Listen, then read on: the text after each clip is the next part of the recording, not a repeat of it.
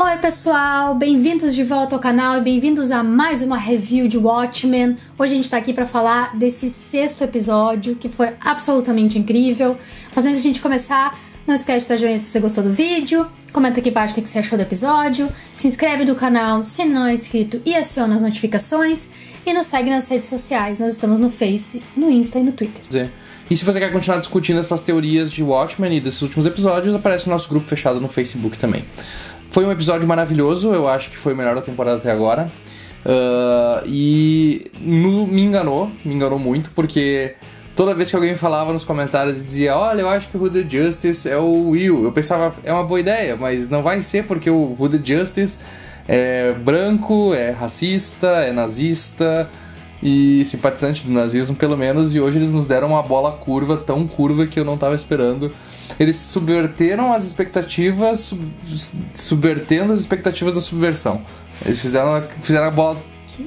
Era uma coisa tão inesperada para mim, porque era uma coisa tão óbvia que não seria, que eles acabaram me surpreendendo. Foi e ótimo. foi maravilhoso. Foi exatamente o que a gente esperava que esse episódio fosse.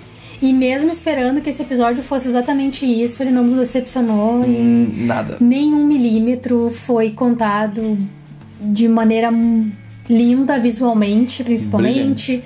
Dessa questão de ser preto e branco, como o filme que ele tanto adorava, e do, dos pedaços em colorido, ser a mãe dele tocando piano, que é essa lembrança recorrente dele, que é o que a gente vê no primeiro episódio de Watchmen, que é a mãe dele tocando piano no cinema pra ele enquanto ele assiste o filme e tá dando todo aquele tendel lá. Isso é lindo também. Todas as cenas do massacre são coloridas. Todas as cenas dele com pro- dele vendo as coisas acontecendo são em preto e branco. Então, na verdade, o que é real é aquela a coisa brutal e o que é não real, que ela é memória dele que ela tá vendo é preto e branco, enfim, todo esse joguinho que eles fazem. E agora faz sentido com o que ele falou de ela saber de onde é que ela veio, porque mesmo sem conhecer o avô dela, ela seguiu no mesmo caminho que ele e ela virou basicamente um vigilante encapuzado, que é o que a gente vê a Lori falando, né? Qual é a diferença entre um policial encapuzado e um vigilante encapuzado, não sei, nem eu, sabe? Basicamente isso. E essa história é muito dolorida e só de desgraça que o Will teve desde o começo, desde que a gente conheceu a história dele em Watchmen. Ele só vive desgraça, atrás de desgraça, atrás de desgraça. E foi interessante ver desse episódio o contraponto sobre a série de TV do Minuteman. Que a primeira coisa que a gente tem as- é um uma inserção da série do ah, Justiça Encapuzada falando com Dois agentes o do FBI. FBI.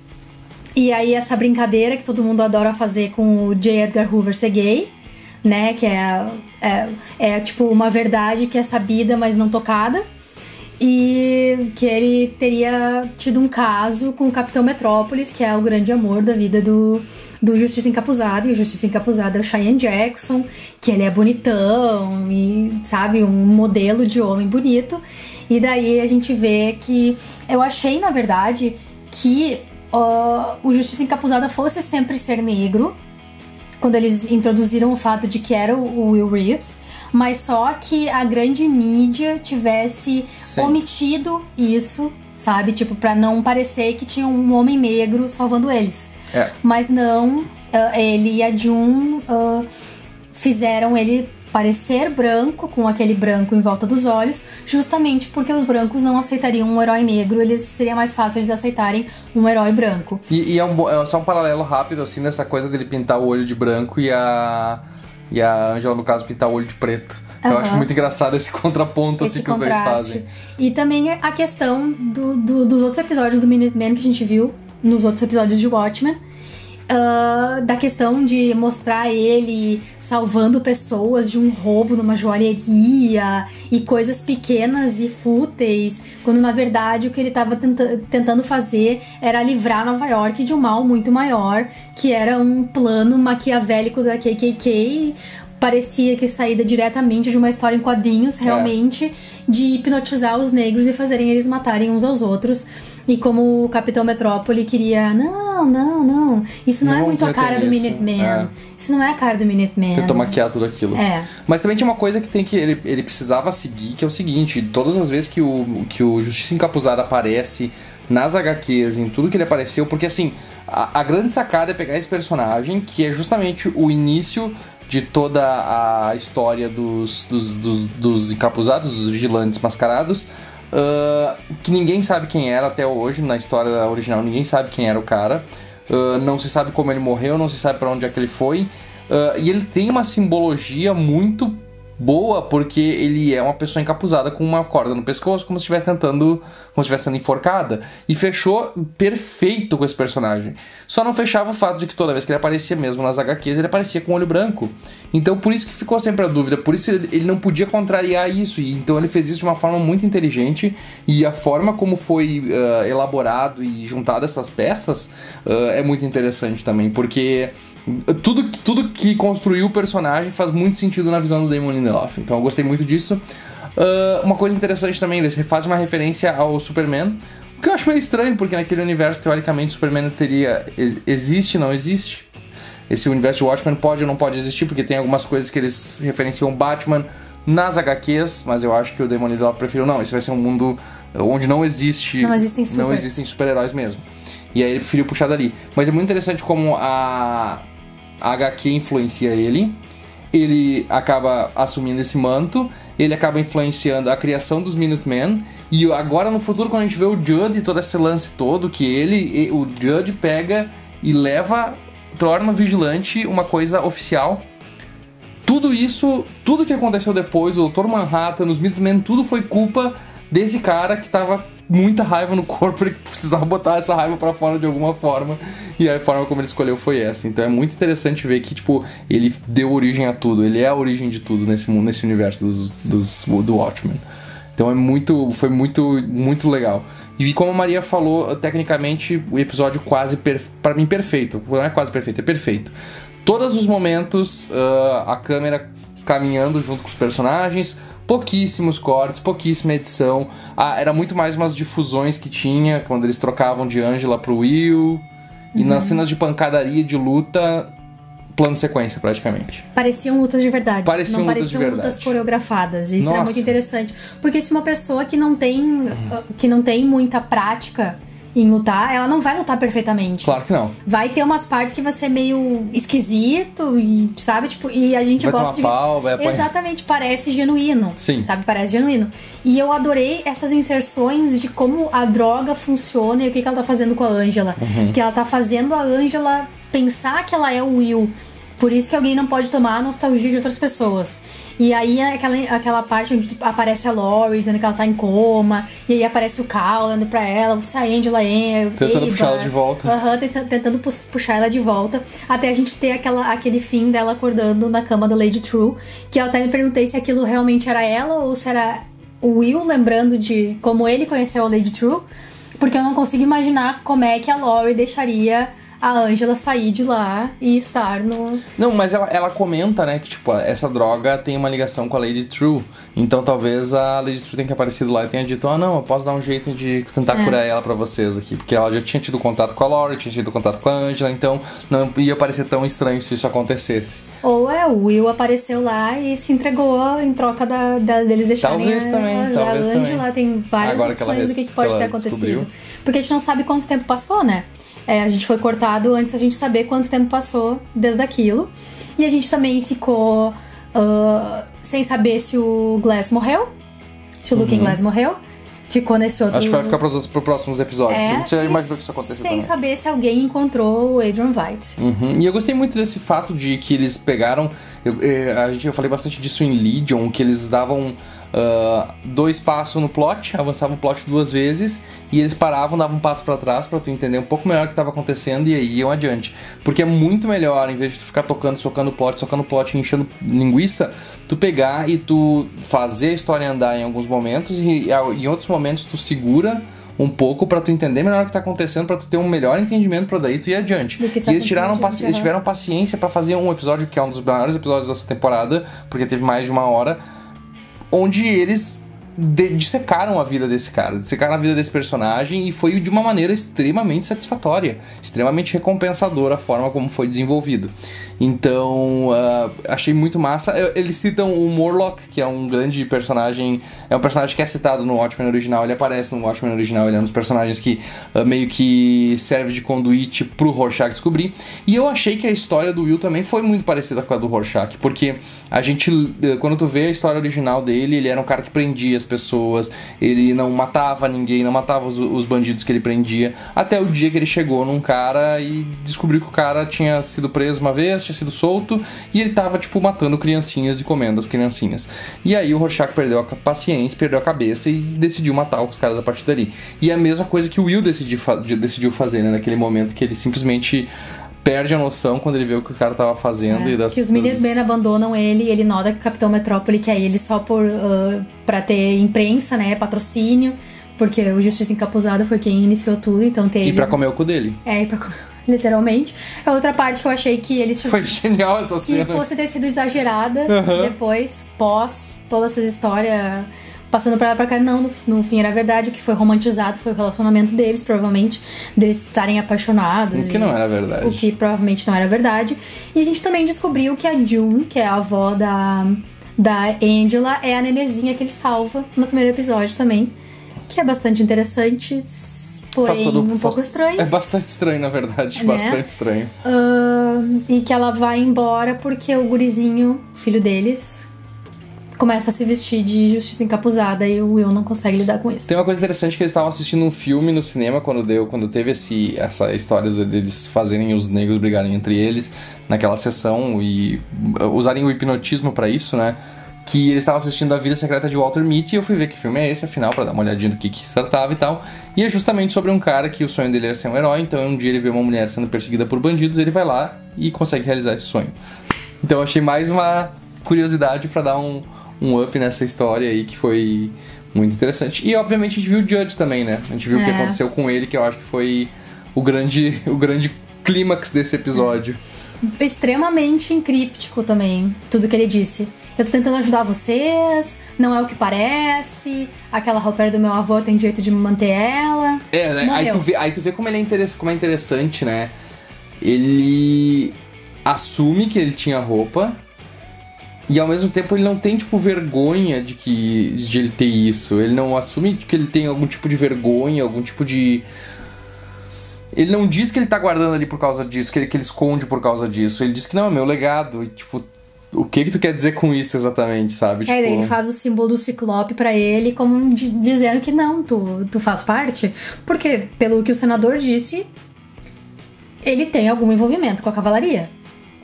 Mesmo que o envolvimento dele com a, com a- com a cavalaria seja pra, tipo, apaisar, Apaziguar. apaziguar tudo e, tipo, ficar em paz, porque eles estão em paz desde, desde a Noite Branca, ele tá envolvido na cavalaria igual. De alguma forma. E naquela semana em que ele morreu, a cavalaria atirou num, num policial negro. Daí eles foram atrás e eles se mataram, sabe? Tipo, um monte de coisa, estavam juntando pilha, estavam fazendo experimento. E ele tá deixando. E é uma coisa ele interessante, mais, um- mais uma coisa interessante também é que nesse esconderijo que eles estavam tinha esse quadro que ela olha de sopetão e ela vê esse quadro daquela, da- do patrocínio daquele banco que tinha do Capitão Metrópole. Eu só não entendi qual era a ligação com isso. Eu acho que a gente vai ter alguma coisa mais próxima aí nos próximos episódios pra de Talvez. repente vai dar um pouquinho mais. Porque não é à toa que eles mostraram que porque a- naquela cena a gente ficou, eu fiquei em dúvida naquele primeiro episódio, porque ela olha pro quadro e a câmera fixa por alguns momentos, a gente vê aquele quadro do cara espancando um bandido. O bandido, se não me engano, é negro, né? Tem mais isso ainda. E aí agora a gente vê quando eles revelam o quadro do patrocínio dos Minutemen também tem esse momento, então o que que isso significa, eu acho que a gente vai ter que descobrir mais adiante, mas eu acho que deixou a pulguinha atrás da orelha ali também em relação a isso. É, não, e o, e o fato dele ter convencido, então, usando o próprio, a própria arma do, dos, dos, do Ciclope, da, da, da organização Ciclope, pra tentar fazer, para fazer o, o Judd se matar. Foi bem chocante também. Foi a cereja do bolo. Cereja do bolo. Mas é, ficou, fica, fica, a dúvida agora, assim, o que que ele tava. Por que, que ele fez isso com o Judd? Qual é o objetivo dele com isso? Se, será que ele só queria tirar o Judd da jogada? Ou será que era só ódio mesmo que ele tinha pelo cara? Pra chamar a atenção da Angela de que tem alguma coisa mais profunda acontecendo na cidade, para ela ir atrás e descobrir, só que ela não faz a mínima ideia de quem ele seja, e talvez agora ela vá atrás descobrir e vai descobrir que é o senador, sabe? Que tá. É, que o porque- Jan é, tá porque a envolvido com a cavalaria. Porque. Até porque o que aconteceu no passado tá prestes a acontecer de novo, né? A gente Exatamente. só não sabe qual é a escala. Exatamente. Porque a da mesma maneira como eles utilizaram os, os- aqueles artífices de hipnose para tentar ah, fazer aquilo acontecer, agora aparentemente vai ser algo diferente em relação a portais. E o que, que eles estão querendo transportar para ali? O que, que eles vão tentar fazer? Eu acho que eles vão- tentar ah, mostrar pra todo mundo, sem mostrar a fita do Adrian Veidt, mostrar pra todo mundo que, tipo, é, o negócio da Lula é uma mentira. Sabe? Será que eles fariam isso? Eu não que, sei com que com intuito. isso? Eu também não sei. Essas pílulas o Will deixou pra Angela pra fazer ela investigar o que o senador não quer que ela investigue, que por isso que ele pediu pro Glass fazer a Lori prender ela, entende? Sabe? Ele tentou, a Lori prendeu ela, mas ela vai atrás igual. Por causa das pílulas do. Pois é, aí que tá, mas é que- aí que tá o que, que a Angela tava investigando, que ela tava chegando tão perto deles, porque o que ela mais tava investigando, na verdade, era o Will. Pois é, ela não tava ainda. Eu acho que o senador só quis se adiantar, porque ele sabia que ali dentro quem chegaria a isso era ela. Uhum, e ela Porque eu, exatamente, porque eu não sei se ele sabe da existência do Will. Uhum. Ele nunca deixou claro se ele sabe. Não, não, ele não Mas- parece saber. É, pois é.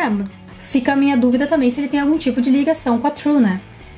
Se o que a True tá fazendo tem alguma coisa a ver com o que a cavalaria tá fazendo e porque tá chegando tão perto do que a True vai fazer que a cavalaria tá toda eriçada. Tem eu acho que, não, mas eu acho que a cavalaria não tá ligada com a True. Até porque o Will tá com ela. Não, se o que a cavalaria tá fazendo tá ligado ao que a True tá fazendo. Hum, sim. Porque falta alguns dias pra, pra aquele relógio dela começar a funcionar. Sim. E a cavalaria também tá, tipo, numa contagem regressiva porque eles estão tentando fazer. E a gente até o momento não descobriu o que, que é que caiu no, também no terreno dela lá que ela comprou. Exatamente, Então tem mais isso pra exatamente. gente ficar Tem mais isso pra questionando. gente descobrir. Se que. Porque, como a gente. Uma, uma coisa que a gente acabou não comentando na última review que a gente fez, e que algumas pessoas até comentaram nos comentários, eu pensei, poxa, a gente deixou, a gente deixou passar essa daí. Que parece muito que aquele momento onde teve a queda no, no, no campo seria uma alegoria aos Kents, até porque o nome dos personagens são os Clarks. Então faria muito sentido, porque eles queriam um bebê, e etc, etc, etc. E eles moravam na fazenda, no meio do nada e tal, e caiu uma coisa lá. Então tem toda essa questão. E hoje agora eles trouxeram de volta com a história do Action e Comics aparecendo e lendo e tal. Talvez a gente tenha alguma coisa. Alguma coisa chegou naquele. Naquele meteoro que eu acho que não deveria ter chegado e que pode mudar as coisas aí, talvez até equilibrar as coisas com ele. Se é que a gente vai chegar a um ponto de um Manhattan, né? Mas enfim, ah, foi excelente o episódio. Eu acho que narrativamente foi maravilhoso, muito criativo visualmente. E, e da forma como ele avançou o plot foi muito interessante também. E uma das coisas que um monte de gente tem perguntado também é: será que poderia ter uma segunda temporada de Watchmen? E eu e a Maria tava conversando hoje e a gente tava. Eu pensei assim, tipo.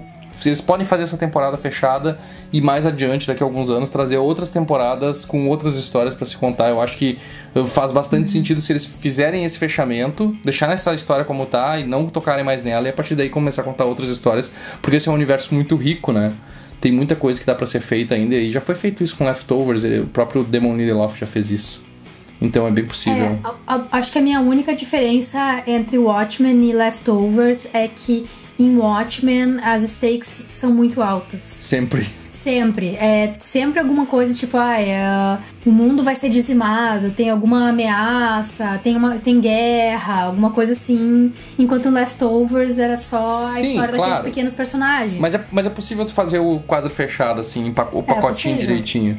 É possível. e uma É outra. só as pessoas estarem abertas a isso, porque essa era a reclamação das pessoas no começo da temporada, né? Sim. Que era uma coisa muito pequenininha, em que que Tulsa tinha a ver com a história dos Watchmen. E agora tá, tá se mostrando algo muito maior do que só Tulsa. É verdade. E uma coisa que eu recomendo bastante também para as pessoas que estão assistindo a série, estão gostando e querem saber mais sobre ela, o podcast oficial da HBO em inglês, não tem em português, o inglês é com o Damon Lindelof e é apresentado pelo Craig Mason do Chernobyl, o criador de Chernobyl.